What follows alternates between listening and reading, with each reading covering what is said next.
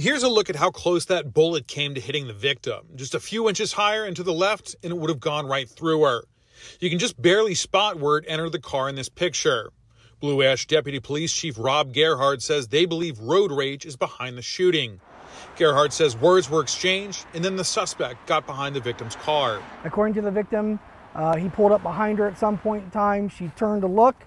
He had rolled down his window and he fired the round from the firearm into her vehicle. That woman pulled onto a side street and called 911. Police were there in just a few minutes. Officers gave out a broadcast. They were able to get a good description from the victim, who was able to get a license plate, a vehicle description, and a detailed description of the suspect.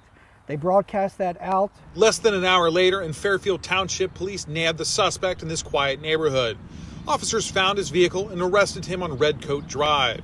They say this man, 21 year old Noah Lewis Winkler, is the one who pulled the trigger. Through the course of the investigation, it was determined that he had attempted to discard the firearm in a drainage ditch type area on Grooms Road at Kemper Road. Officers were able to find that gun with the help of a canine unit.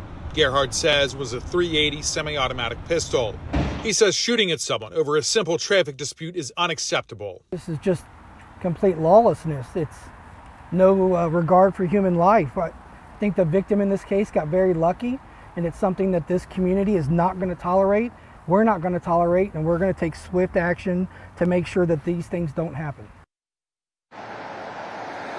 And Winkler is facing three charges. He's facing attempted murder, felonious assault, and tampering with evidence for tossing that handgun. Now, he's locked up tonight in the Hamilton County Jail. Police tell me that he's actually got no criminal record, but uh, unfortunately, this is actually the second road rage shooting that I've covered in the past year or so. And unfortunately, it looks like these incidents are going to continue to happen. For now, live in Blue Ash, I'm Christian Hauser. Back to you all in the studio. All right, Christian, thank you so much. And right now, police say they are still looking for witnesses who may have saw what led up to that shooting. If you were in the area and you think you may know something, you're asked to call Crime Stoppers at 513-352-3040. From breaking news to feel-good stories, Local 12 has it all. Tab subscribe and click the links for more content like this.